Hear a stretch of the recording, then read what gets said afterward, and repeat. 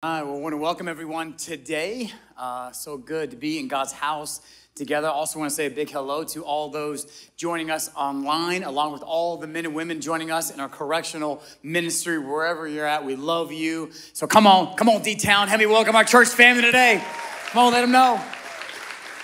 It's awesome. Well, today we are in our third and final week of this series we've been doing called Healthy rhythms. And kind of the, the big idea and the purpose behind this series is that when life gets out of sync, we need some healthy rhythms to help help us get back on beat. And so this series has been super practical, and my whole goal is to try and equip us uh, with some practical, healthy rhythms that we can instantly apply to our lives and see results right away. And I don't know about you, but I've needed this series maybe even more than you guys. In week number one, we talked about just slowing down. Anybody else need to hear that besides me? Let me just slow down. And then my week after I preached the message on slowing down, it got, got even faster and just uh, reinforced the idea that I need to take a breath. And then last week we talked about how there's four primary uh, areas of our lives where we can just be running on empty, running on fumes, and just feeling drained in.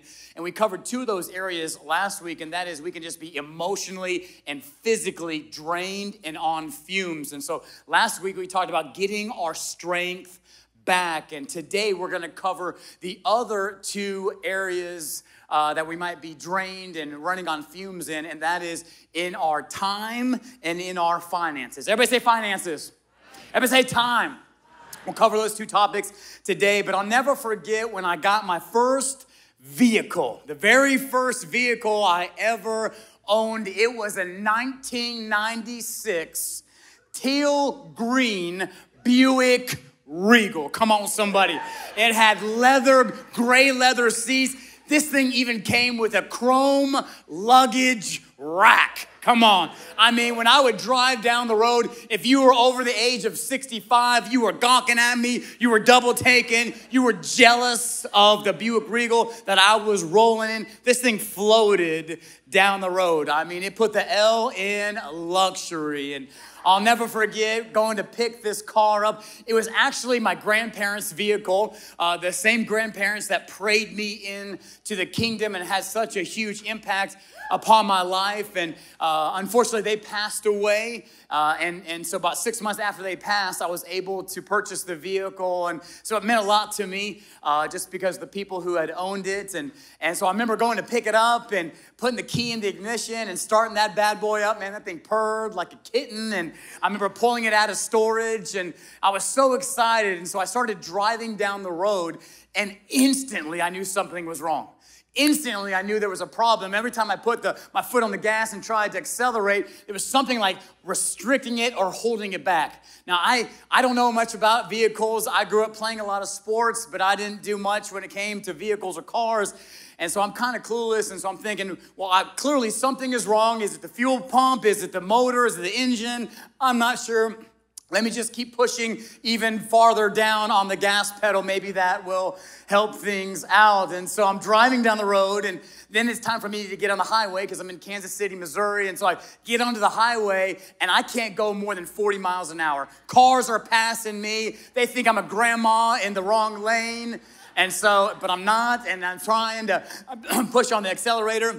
And all of a sudden I start to smell like this, this smell of smoke starts to fill the air. And at that point, I think to myself, maybe I should pull over. And so I pulled this side of the road and I called a friend of mine uh, who is much more knowledgeable when it came to vehicles. And he showed up on the scene.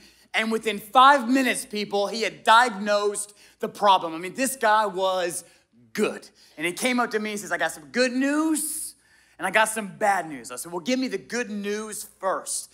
He says, The good news is there's nothing wrong with your vehicle. I said, That's not good news, that's great news. I go, What's the bad news? He said, The bad news is you've been driving with the emergency brake on. Come on, tell me I'm not the only one who's ever done this. Who else has done this? Sir, I see. Oh, thank you so much. I mean, this thing was like a pedal up on the left, top left corner. You would push in, it was stuck. It was black, like you couldn't see underneath there. And then you have to push on it to release it. I mean, who knew? Who knew there was the e brake on the whole time? I mean, I was driving down the road with the emergency brake on, and I didn't even know it. And to your surprise, I'm sure, as soon as I took the emergency brake off, man, that thing floated down the road. It was amazing. And and uh, uh, here, here's, here's the point.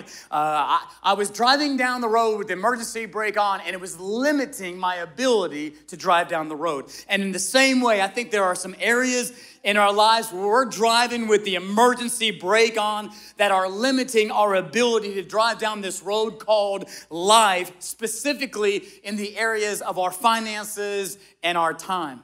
And so, as we talk about healthy rhythms, the title of the message today is Unlocking Your Limitations. Come on, unlocking your limitations. And we're gonna get our rhythm back today. And I wanna start things off by taking a look at probably the most uh, well known uh, chapter in the entire Bible. It's probably the famous, most famous chapter in the Bible. We know the, the most famous, excuse me, verse is John chapter uh, 3, verse 16, but the most famous chapter has to be Psalms 23. And so let's take a look at the first two verses, Psalm 23.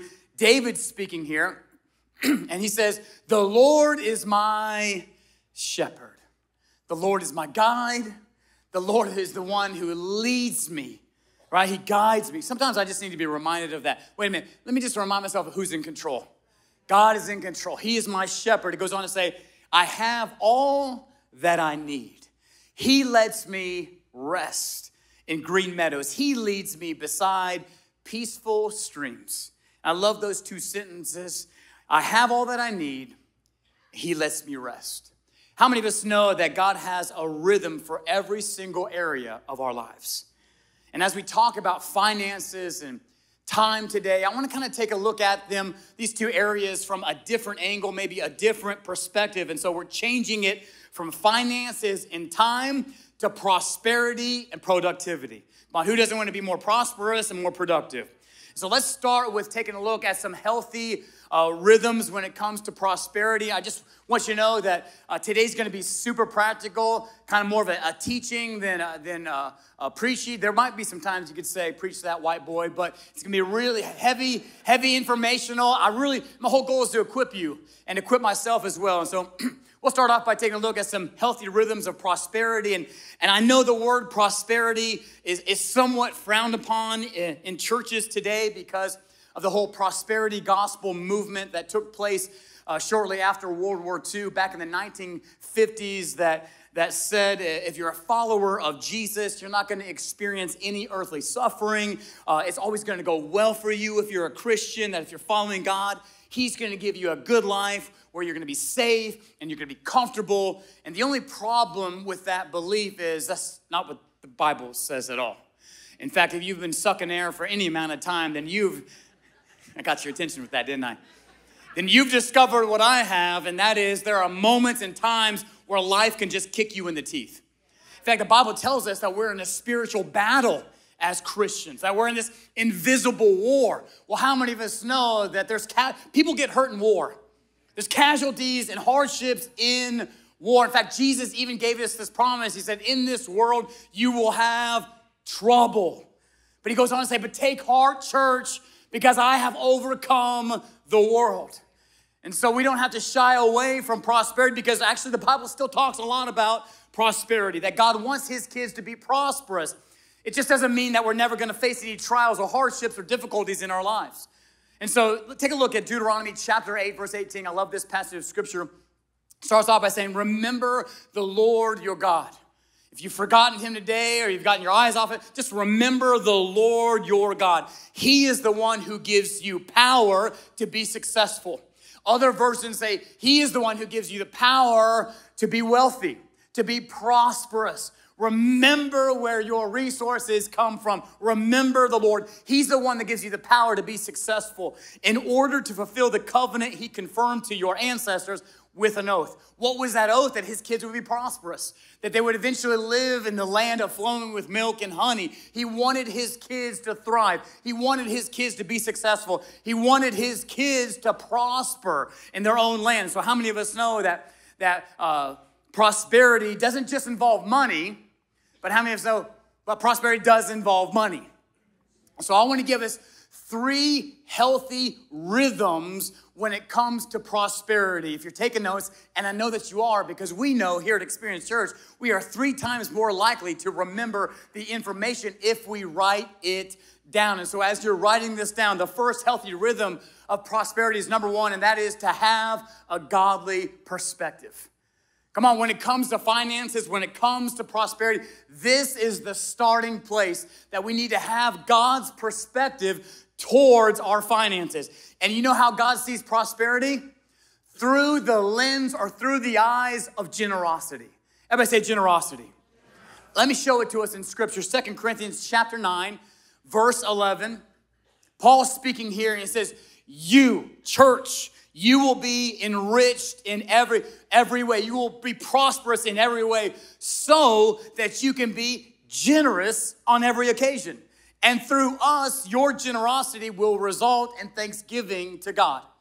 In other words, God says, I want you to prosper. I want to bless you, but it's so that you can be a blessing. It's not so that you can just be, have everything that you want and ride off into the sunset and live happily ever after. And I want to bless you so that you can be a blessing to the world around you. And as you bless others and you're generous on every occasion, people wouldn't exalt you. People wouldn't put you on a pedestal. They would see me through your generosity and they would thank God for his goodness in their lives. This is the perspective and the point of prosperity. God says, I want to bless you so that you can be a blessing. It's really the difference, this perspective of a closed fist and an open hand. Dave Ramsey teaches this, and he says when we view our finances and our resources with this closed fist, meaning I gotta hold on to everything I have and I gotta keep a close grip of it and, and I can't let any get away. And he says, That's true. I'm holding on to what I have, but how many of us know it doesn't allow God to give me more? But if I hold on to my finances, my resources with an open hand, yes, some might get away, but it allows God to pour more of it into my life. And when I have His perspective and realize that, that pro- true prosperity is understanding God's called me to be generous to the world around me. And if I'm faithful with little, there's a little scripture that says, if you're faithful with little, you can be faithful with much. God says, if I can trust you with a little, I'll trust you with much, with more. But here's the problem that I've ran into when it comes to generosity. Like, whenever I have a thought to be generous towards someone, like maybe I should pay for their meal at Chipotle because that's what Jesus would do, or should I help somebody who's in need, they have a problem, or, or just a, uh, a need that they have and I can help meet that. As soon as I have this thought, all of a sudden, following that good thought of generosity is followed up by five thoughts of how maybe, well, I don't. Don't really have a lot to myself. I mean, if I give them that, if I buy that, that big old massive burrito from Chipotle and they get the guacamole, that's really gonna, I'm not gonna have a lot of money left over. And if I had more, maybe I'd be more generous, God. Anybody else get into this kind of like just debate with God when He's called us to be generous? And maybe next time I'll do it, God, not this time, but next time you tell me to be generous, I'll step out and do that. Or, or maybe this thought, this prompting is not from God, maybe it's from the devil. Maybe the devil's trying to get me to buy that burrito. They don't need that burrito, right? they need a, a, a, bowl, a salad, more lettuce, right? So that's not the Lord. They're physically drained. We talked about that last week. I'm helping them. Right, Lord? Anybody else? I've said some crazy, maybe not that crazy, but I've said some stupid things. I've talked myself out of being generous so many times, right? But God's going, no, no, no. See, if you look at prosperity through my lens and get my perspective, I actually see it through the lens of generosity. God wants us to prosper so that we can be generous to the world around us. God wants to bless us so that we can be a blessing. The second rhythm that I want to give to us today uh, when it comes to this area of prosperity in our finances, number two, write this down, and that is to value people over possessions. How many of us know we live in a day where we value things more than we value people? And if we want to walk in the rhythm of God's prosperity, we need to value what God values. And how many of us know God really values people? In fact, let me show us a little scripture, a little passage of scripture where, where Jesus is having this conversation. It's found in Luke chapter 12, starting in verse 13. It says, Someone in the crowd said to Jesus, Teacher, tell my brother to divide the inheritance with me. So here these brothers are in this argument, these brothers are in this dispute, they're arguing over their inheritance, and Jesus replied, Man, who appointed me a judge? He didn't respond like that, that's how I read it. Who appointed me a judge or an arbiter between you? Then Jesus said to them, Watch out. You're, you're arguing about this. You're so concerned with that. Watch out, be on guard against all kinds of greed. You're so focused on possessions and material things, but life does not consist in abundance of possessions. I want to ask us a question today, and that is what makes our lives rich? I would suggest that it's the people in our lives, it's not the possessions that we have. That true riches are our relationships, and God cares more about people than He does possessions, and we should too. We care about the people around us. And then the, the third kind of healthy rhythm when it comes to prosperity, and that is simply this number three, and that is to live below your means. This is, this is a new teaching that just came out today living below.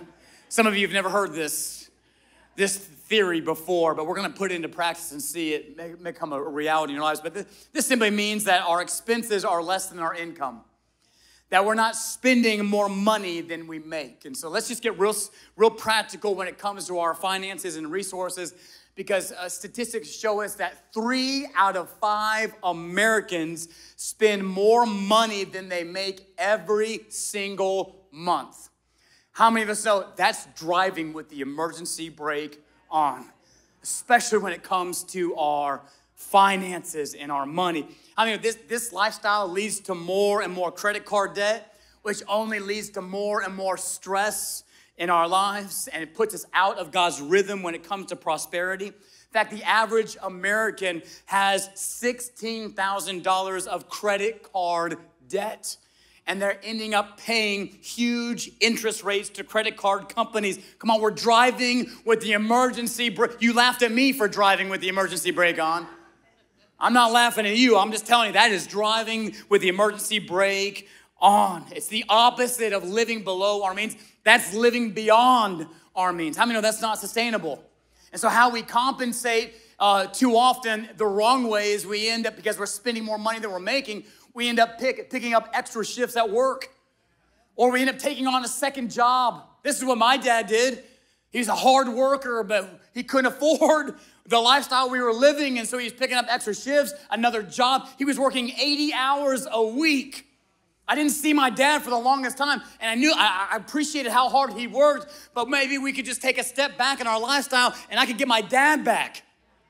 Right? And so I'm not against uh, extra shifts and all that. Try, hear me. What I'm saying is, I'm against the lifestyle that's leading us to do those things. I'd love to pick up some extra shifts just because I want to, well, I've got some extra cash and there's some opportunity, not to try and uh, fix or hold this lifestyle that's not sustainable. Are you with me, church? I mean, and by the way, earning more money doesn't automatically make us a better manager of our money either, just so we know. Because statistically, uh, we see that 57% of Americans have less than $1,000 in their savings account. I was, I was, I was staggering. 57, over half this room has less than $1,000 in our savings account. Well, here's the problem with that because life happens. Things break, things need replaced. And if we don't have the, the resources to be able to do it, all of a sudden it throws us into this tailspin when it comes to our, our finances. And you know what the first thing to go out the window when our finances get tight? Generosity. Because no longer can I even think about being a blessing to somebody else. I'm just trying to keep my own head above water. I'm just trying to pay these bills and pay off this credit card. How could I even be generous and have God's perspective. I'm just trying to make it another week till I get paid the next day. I know this is not God's plan for prosperity. We have to live below our means. And so, so what do we do? I'm so glad you asked, church. Um, I would suggest that we would live on a. Budget.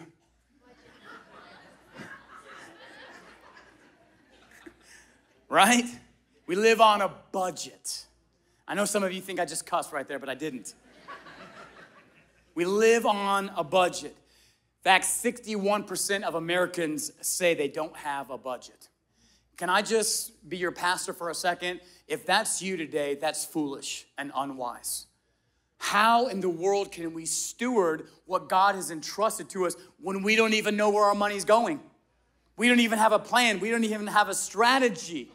We're not even doing the very basic thing to set ourselves up, living below our means, to set ourselves up to be prosperous so that we can be generous and a blessing to the world around us. Why would God trust us with more when we're not even stewarding well what He's already given to us? Now, when I say budget, I know a lot of us here diet. Like, no, we're no longer going to be able to eat the things that we want to eat. It's like broccoli and cauliflower from here on out, boys. Get ready, buckle up. That's what, like, we're no longer going to be able to do what we, we want to do. But I, I just want us to know that that is not true. Or, or we see a, a, budget as something that we need to do until we get to a certain point, like a, like a diet. Like once I lose five pounds, then I'm kicking this diet. I'm out of here. I'm eating whatever I want again, right? And then you go back from diet to pounding, diets to, to gaining that weight back, diets to more pounds, diets to gaining that weight back. And it's a circle. How many know it's a lifestyle that we live? This is a lifestyle that God has called us to live. And a lot of us see a budget as being restrictive, but it's actually just the opposite. A budget brings freedom. A budget actually sets us up to do more of the things that we want to do in life. With $16,000 worth of credit card debt, you ain't doing what you want to do, anyways. You're just buying time. Eventually, how many know? Eventually, you reap what you sow. You're sowing poor stewardship. Eventually, you're going to reap the, the consequences of that. Right? We're just buying more time. Are you with me, church? And so, we, so a budget is a lifestyle we live. I heard it said like this: a budget is not law. Is not law. It's liberty. And living below our means and having a budget are keys to having our money work for us instead of us working for our money. When we work for our money, how many know that's driving with the emergency brake on?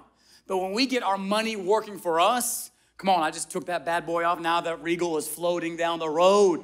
Who knew it was this luxurious to be in a Buick Regal in 1996? I did, right? After I got the e brake off. Same thing with our finances. When we get a budget, we start living below our means. Who knew I could have all this financial freedom? And maybe I can't give millions of dollars away, but I can buy that burrito for someone and say, Jesus loves you. I can be generous to the world around me. And maybe I can't do everything, but I can do something. And all of a sudden, God's entrusting me with more because I'm stewarding well what He's given me in the first place.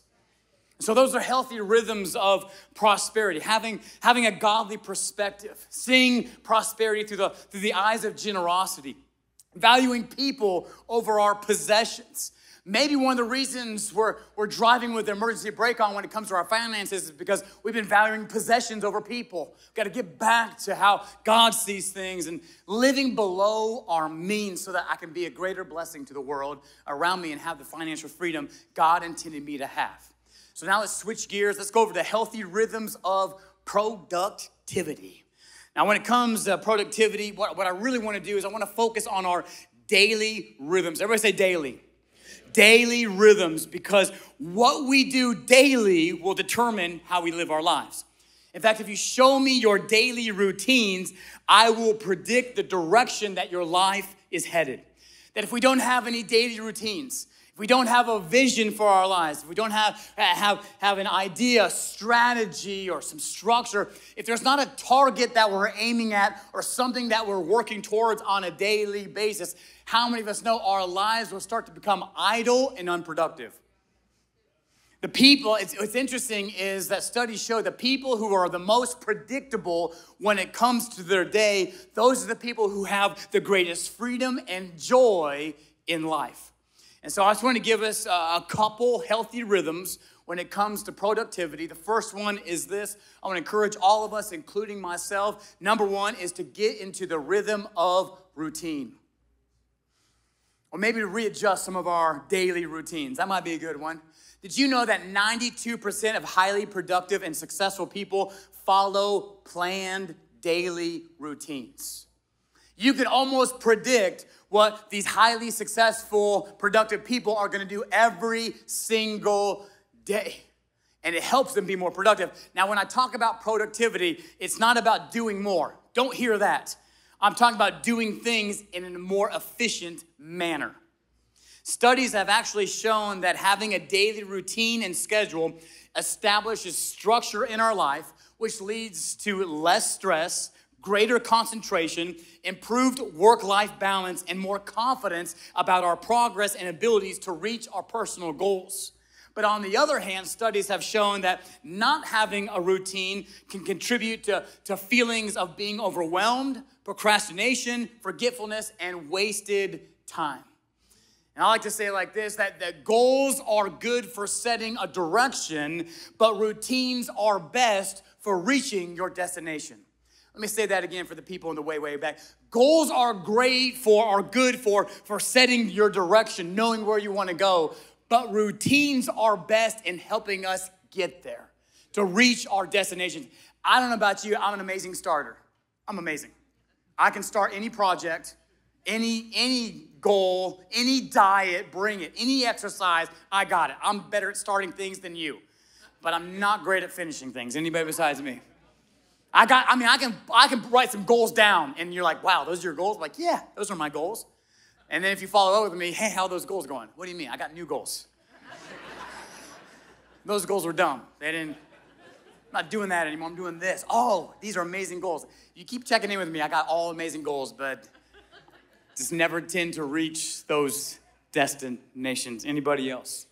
So we kind of talk about daily rhythms. I want to take a look at uh, part of the creation story to show us the power of the day. Let's take a look at it in Genesis chapter 1, verses 3 through 5.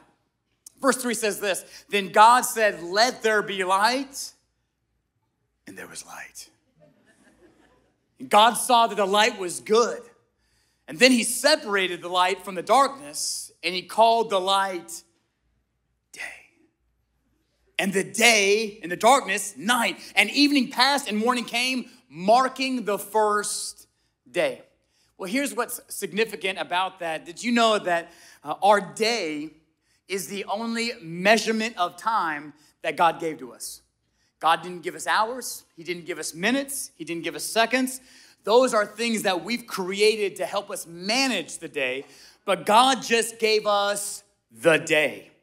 The day is the building block for all of creation.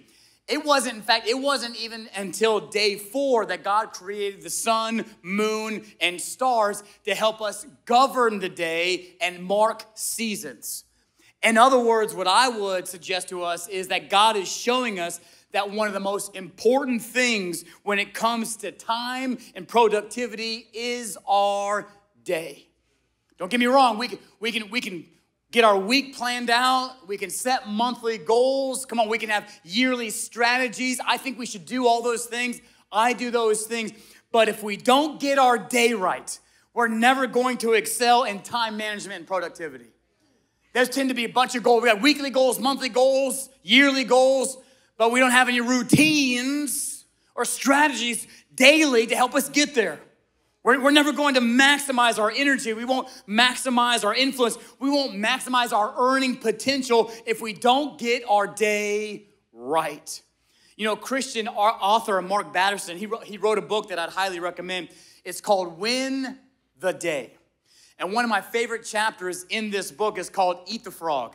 Come on, that's a great chapter, isn't it?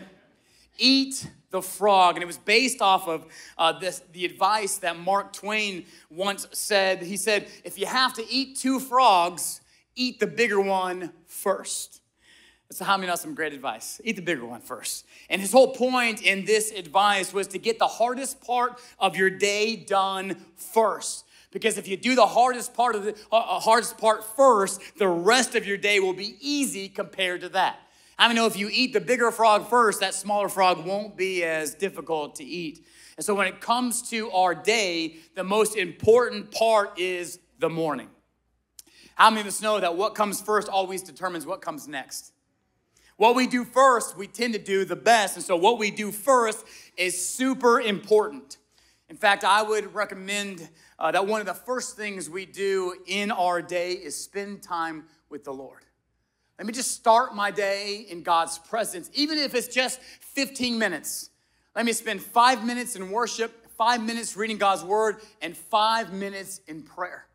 This is a great way to start the day. Sometimes I can wake up, I'm a little droggy and all that. I'll put my AirPods in and I'll put on a worship song And sometimes I'll just sit in my La-Z-Boy. Come on, worship's not me dancing around the house. It's me engaging my heart with heaven and honoring the name that's above every single name. How many know worship's really your heart posture and the lifestyle that we live? And so I can be sitting my La-Z-Boy with my AirPods in, listening to worship music and just lifting my hands, having a moment with Jesus starting the day. How many know that sets the tone for how my day is gonna go? How many know I can't control what happens to me, but I can control how I respond to it? And starting my day in God's presence helps me respond the right way to the situations I face that day. And then I get into God's word, even if I'm just reading one chapter that day. And then I pray. And if some of us might say, well, I don't even know what to pray for. Here's a great idea. Find the top for whatever, the, the three most or five most people that you love that are in your life, and you go to them, hey, what can I pray for?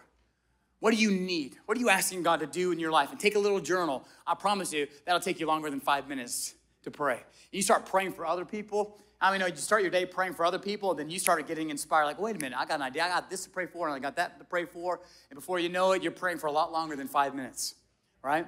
And I would suggest starting our day with at least 15 minutes, but if it can longer, the more time we can spend with God, the better.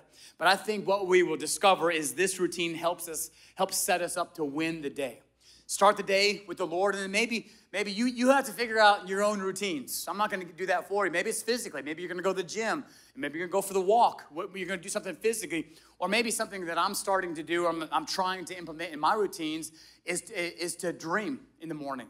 A lot of times I, I will I'll, I'll spend some time with the Lord and I'll go work out or whatever, and then I come in the office and my day just starts.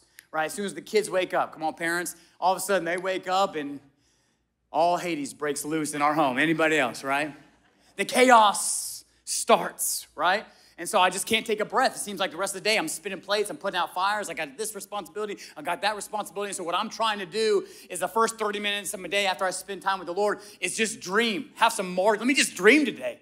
What do I want my marriage to look like? How do I want to parent my kids? What needs, let me just dream and, and have some vision and margin in my life to take a breath. God, what do you want for this year? What do you want for this week? What do you want for this day? And so those are some of the routines that I'm putting in place. But how many know we need to, to have some routines in our lives? We need to get in the rhythm of routine. The second healthy rhythm of productivity I want to encourage all of us to, to do is number two, and that is to build in a, re, a rhythm of rest. Everybody say rest. Let's just take a breath. How many know we need rest built into our schedules so we don't get burnt out? And here's the problem with burnout you don't realize you're burned out until oftentimes it's too late. Too often we don't recognize we're on the verge of burnout until we need major help. And I just want to say it like this the best thing that we can give to others, whether it's in our business, our families, or our relationships, the best thing we can give to others is a rested and refreshed version of ourselves rather than an exhausted, burnout version of us. I don't know about you, I'm a better parent when I'm rested. I have more patience when I'm rested. I'm a better spouse. I'm a better leader when I'm rested and refreshed. And so you might be thinking to yourself, man, how, how do we even do it, Pastor? I'm so glad you asked. Because I got good news, just like my buddy had that day on the on the interstate. You've been driving with the emergency brake on. And God's already given us a rhythm of rest. He's already laid it out for us. How many of us know it's called the Sabbath, which literally means to cease and to rest. God even modeled this in the creation story because in, in six days he created the world, but on the seventh day he what? He rested. He took a Sabbath. He ceased. And how many of us know if God rested, we probably need to rest too? In fact, if you have a hard time giving yourself permission to rest, just know God rested. You need to rest. Take a look. I want us to see this about the Sabbath, about resting. Mark chapter 2, verse 27. Jesus looking at them, looking at his disciples, is teaching us about the Sabbath. He says, The Sabbath was made to meet the needs of people and not people to meet the requirements of the Sabbath. This, this isn't a law. This isn't another religious thing for us to do. God created the Sabbath as a gift to give to us because He knows how much each and every one of us need to rest, to take a breath. He knows beyond even what we know how good it is for our souls when we rest. God knows better than we do of how limited we are. Sometimes, if you're like me, I think I can take on the world. But the truth is, I'm limited. The truth is, I can only do so much. I, love this in, the other version, ESY version, Mark chapter 2, verse 27 says, Then Jesus said to the Pharisees, same scripture says, God wanted to help people, so he made a day for them when they should. Everybody say, should.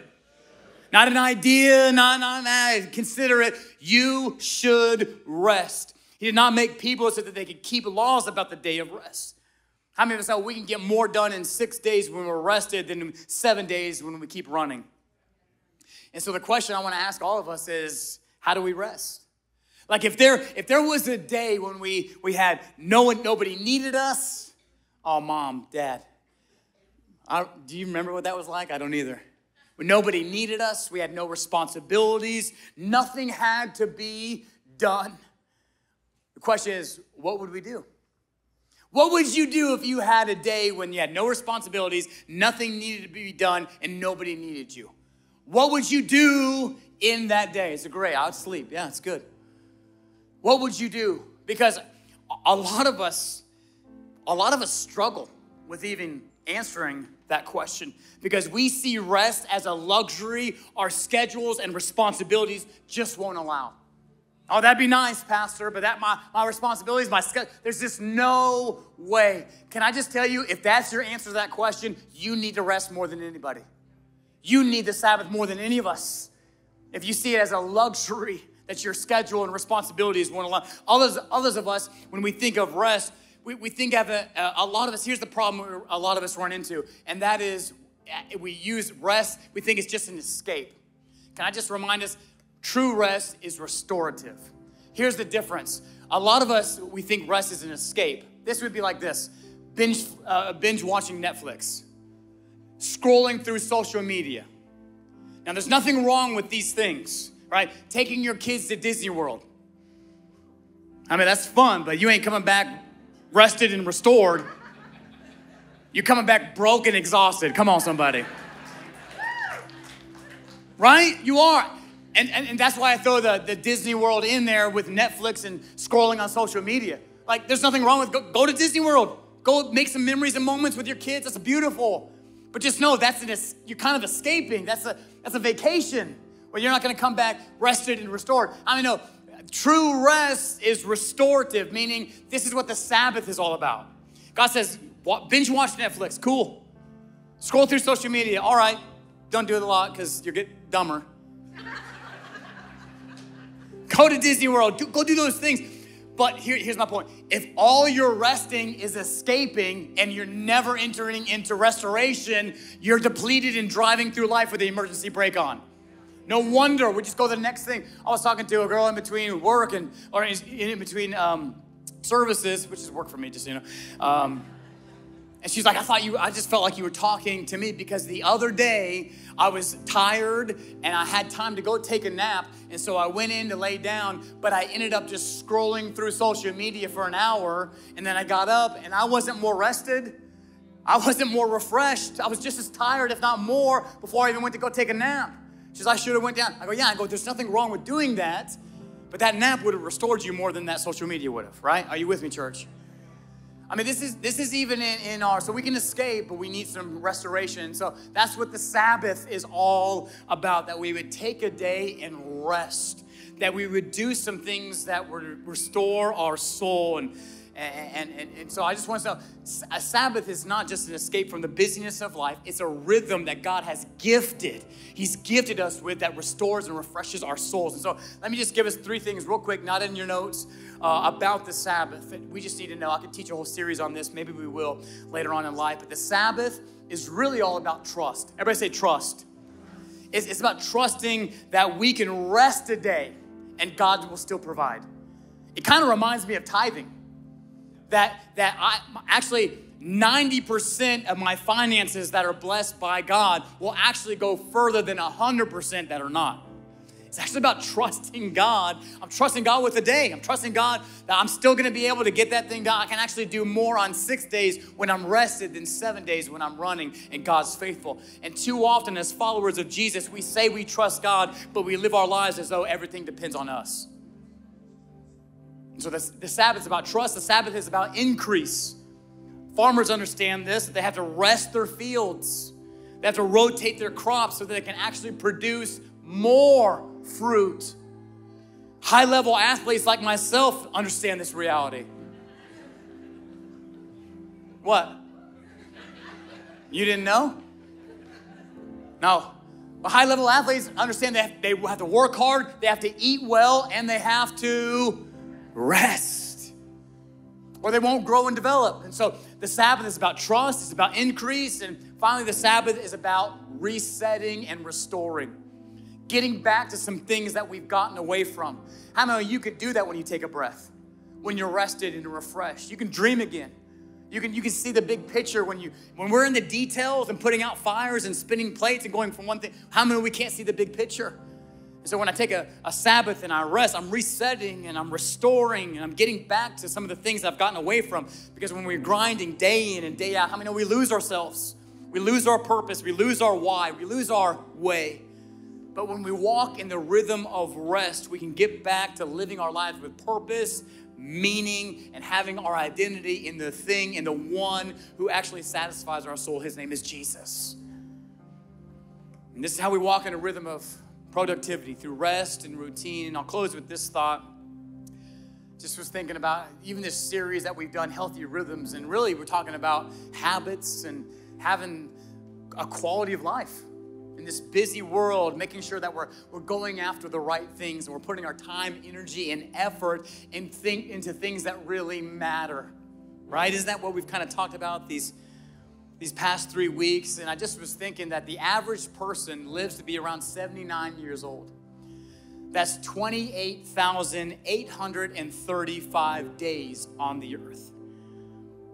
I don't know how many days that we have left. I turned 45 this year. I know you didn't, you didn't think so.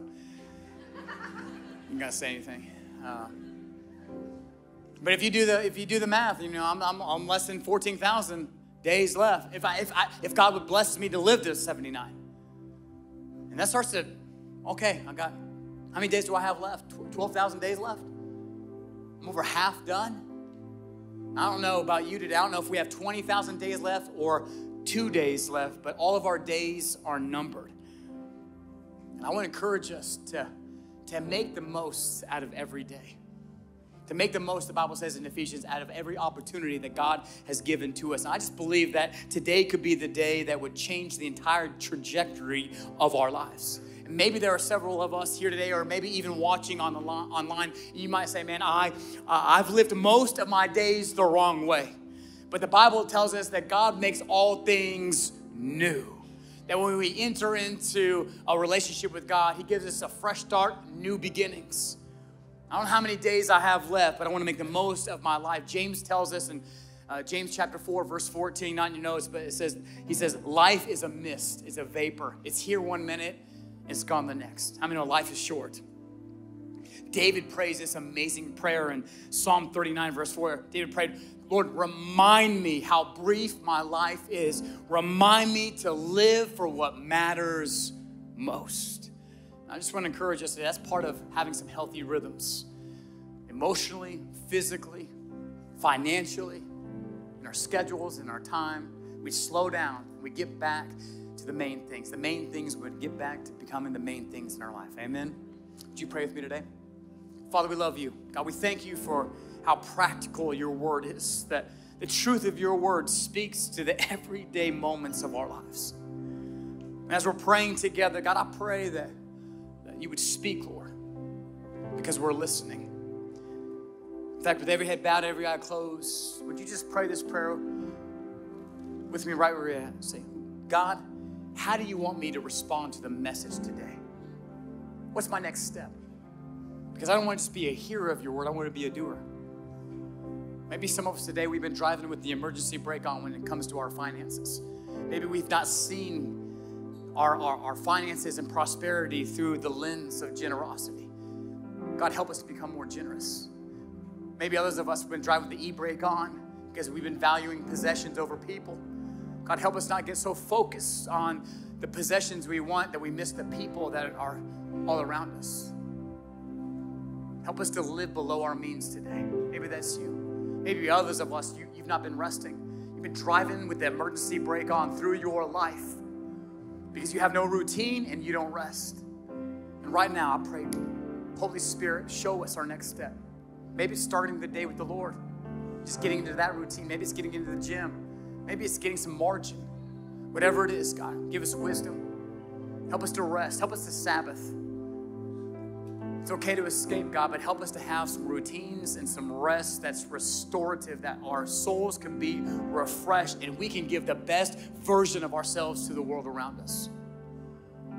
Maybe uh, some of us are here watching online and you would say the way you've lived your days up until this point, you've lived the wrong way that you don't have a relationship with God. You know about Him, but you've never entered into a relationship with Him. And the Bible tells us that if we believe in our hearts and we confess with our mouths that Jesus is Lord, that He's the Savior, the Bible tells us that we shall and we will be saved.